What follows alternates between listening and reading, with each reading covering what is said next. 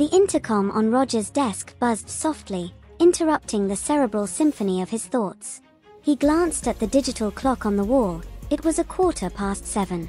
The lab should have been empty, save for the soft whispers of machinery and the occasional footfall of the night staff. Roger's curiosity was piqued. Roger's assistant, a young woman with a penchant for punctuality and an impeccable bob, announced in a hushed tone, Mr. Rogers, there's an Agent Pierce here to see you. He says it's urgent. Roger's eyes narrowed slightly, his mind racing. He had not been expecting any visitors, especially not from the government. He stood from his chair, smoothing the wrinkles from his impeccable suit and approached the secure glass doors leading to the reception area. The man who awaited him was a study in contrasts, his tailored black suit and crisp white shirt a stark counterpoint to the scantily clad women accompanying him.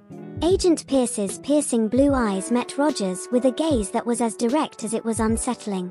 Good evening, Mr. Rogers, he began, extending a firm hand. I apologize for the intrusion, but time is of the essence.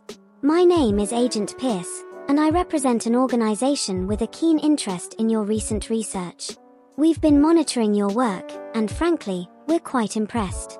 The potential applications are extensive. His smile was tight, hinting at the gravity of his words. He took a moment to survey the lab, his eyes lingering on the rows of biohazard containers and the holographic screens displaying complex DNA sequences. I'd like to discuss a proposition with you. One that could change the course of human history and potentially, your own. Rogers studied Agent Pierce's outstretched hand for a moment before taking it in his own firm grip, feeling the calloused strength that belied his own scientific dexterity. The government has taken an interest in my research before, but never with such urgency, he replied, his voice cool and measured. He stepped back, gesturing for the agent to follow him into the more private sanctum of his office. Please, come in. The room was dimly lit, the only sound the muted symphony of his orchid sanctuary. What exactly is it that you wish to discuss? He knew better than to underestimate the significance of this visit, especially given the cloak and dagger aura that clung to the man like a second skin. Agent Pierce's eyes swept over the office, noticing the juxtaposition of antique books and cutting edge technology. He took a seat across from Rogers, his gaze never wavering. Your work on the rapid mutation of biological agents, Mr. Rogers, he said, placing a sleek, black briefcase on the table between them. We need your help for a project of national security. Rogers leaned back in his chair, his expression contemplative. The scent of orchids filled the air as he steepled his fingers, considering the implications of such an offer. I'm intrigued, Agent Pierce, he said slowly, but my expertise is in healing, not harming. Agent Pierce's gaze remained steady, his eyes seemingly reading the very fabric of the room, as he spoke. The line between the two is often blurred, Mr. Rogers. Our adversaries are not bound by the same moral constraints as we are. Sometimes, to prevent greater suffering, one must engage in actions that may seem questionable. His tone was even, but the intensity behind his words was palpable. Your research holds the key to a biological defense system that could protect our nation from the unthinkable. The potential to save lives is immeasurable. The alternative, he paused, is to leave it in the hands of those who would not hesitate to use it as a weapon. Rogers's office, a bastion of order and intellect, seemed to hold its breath as the gravity of Agent Pierce's words sank in. The glow from the holographic screens cast a soft blue light on his face, accentuating the lines of contemplation as he considered the offer. He knew his research could be used for nefarious purposes, had even wrestled with the ethical dilemma in his own mind. But to have it presented so starkly by a man who clearly knew the darker side of human nature was sobering. He leaned forward, elbows on the desk, his eyes never leaving the agents. You speak of defense, but history is littered with the consequences of unchecked power. How do I know your intentions are pure? Agent Pierce's smile remained, but his eyes grew more intense. He leaned back in his chair, his hand drifting to the briefcase. You don't, he said frankly, but I can offer you something no one else can the resources to ensure your research is used for the greater good and the protection of those who matter most to you. He popped open the case, revealing a dossier filled with classified information and a data chip. The choice is yours, Mr. Rogers. Will you stand on the sidelines, Or will you join us in shaping the future of our world? Rogers felt his heart rate quicken as he stared at the briefcase. The data chip glinted under the soft light, beckoning him to dive into a world of secrets and power. He knew he was being tempted with a dangerous offer, but the thought of his research saving countless lives was a siren's call he couldn't ignore. What kind of protection are we talking about? he asked, his voice a whisper of suspicion. Agent Pierce leaned in slightly, his voice dropping to match the intimate tone of the conversation. The kind that ensures your family's safety, Mr. Rogers. The kind that guarantees the anonymity of your employees and the security of your operations. The kind that makes it so that no one, not even the most resourceful of adversaries, can touch you or those you care about. His hand hovered over the data chip, a silent offer. But more than that, you would be working alongside the best and brightest in the field. Your research would not only be funded but also prioritized. And, if necessary, we have the power to intervene should your work be threatened by those who do not share our moral compass. Rogers's eyes flicked from the data chip to Agent Pierce's unwavering gaze. The mention of his family and employees sent a jolt of concern through him. He knew the dangers of his work, but had always strived to keep them at bay from his personal life. The promise of protection was tempting, yet he couldn't ignore the nagging doubt. He cleared his throat, his voice steady despite the tumult of emotions within. And what would you have me do, exactly? What is the nature of this national security project? Agent Pierce's smile grew thinner, the corners of his eyes crinkling slightly. He reached for the data chip, his thumb hovering over it as if to emphasize its significance. Mr. Rogers, imagine a world where our planet is not the only host to life. A world where a cosmic entity, ancient and powerful, has seeded its offspring within the Earth's core, and these beings are now gestating, threatening to emerge and remake the world in their image. His voice was low, imbued with a gravity that seemed to suck the air from the room. Our intelligence suggests these organisms are preparing to hatch, to burrow through the Earth's crust and unleash havoc the likes of which we've never seen. Your expertise is vital in creating a countermeasure, a vaccine, a weapon if you will, to neutralize this threat before it can destroy everything we hold dear. He slid the chip across the desk. In this scenario, the line between healing and harming becomes indistinguishable. It's about ensuring humanity's survival. Rogers felt his heart thud in his chest as he stared at the data chip, his mind racing with the implications of what Agent Pierce had just revealed. The very idea of alien life forms gestating within Earth's core was the stuff of science fiction, yet the seriousness in the agent's demeanor suggested otherwise. He swiped the chip off the desk, his mind racing. This, this is incredible, he murmured, his voice a mix of disbelief and fascination. What evidence do you have to support this claim? Agent Pierce's expression remained stoic as he reached into his pocket and produced a small, sleek device, which he placed on the desk.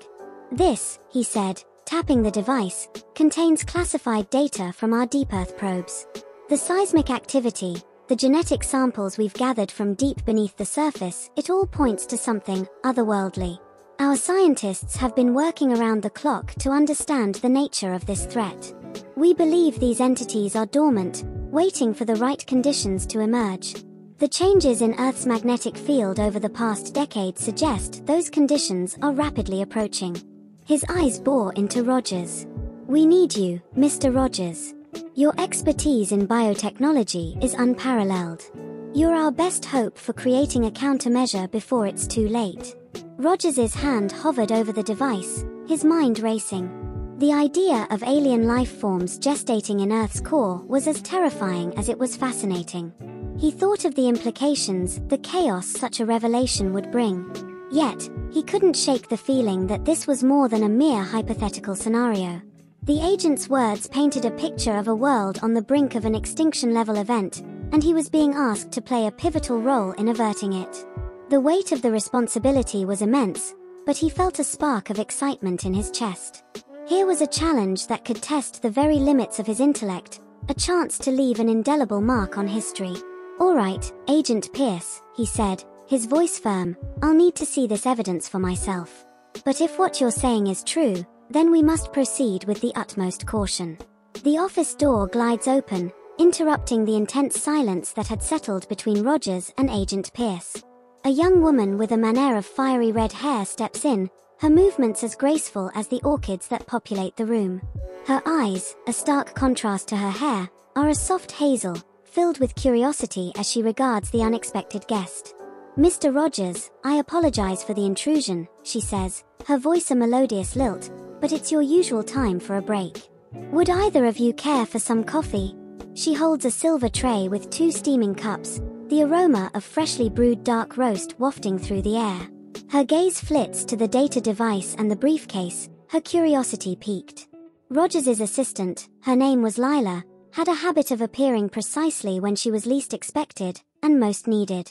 Her timing was impeccable, a trait that had earned her a place in his inner circle despite her relatively junior position. The interruption was welcome, a momentary reprieve from the gravity of the conversation. Rogers nodded, his gaze never leaving Agent Pierce's. Thank you, Lila. That would be excellent, he said, his voice steady despite the racing thoughts. Lila's eyes flicked between the two men, noticing the tension that seemed to have thickened the very air in the room.